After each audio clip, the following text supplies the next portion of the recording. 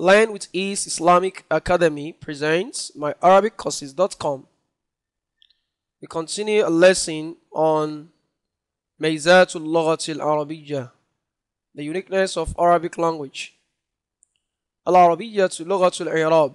Arabic language is a language of cases and grammatical analysis. In fact, we cannot see this in terms of case and grammatical analysis as you can see in Arabic language. For example, you say لدي مئة غير الدرهم.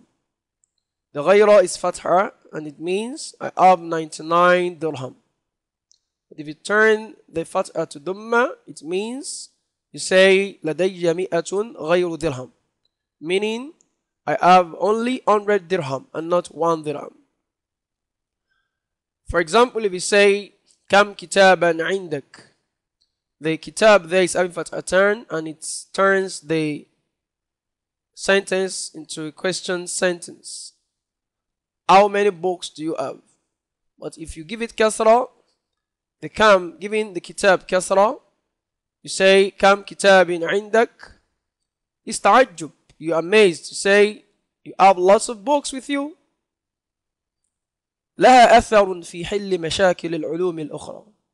Arabic language assist in solving problems in other fields. Guess what? Imam Shafi'i said, لا أسأل عن مسألة من مسائل الفقه I will not be asked a matter in fiqh إلا أجبت عنها من قواعد النحو except I answer with one of the principles of grammar. This tells us that Arabic language is a language of solution. العربية لغة الألفاظ والمفردات Arabic language the language of words and vocabulary.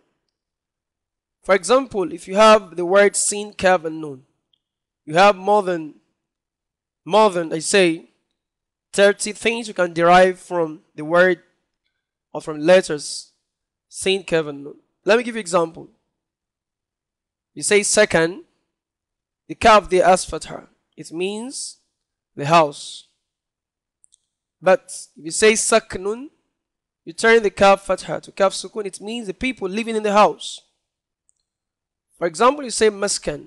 Maskan also means a house.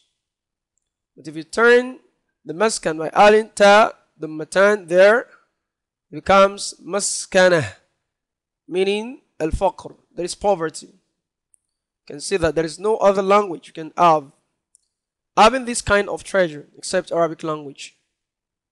Shukran, thanks.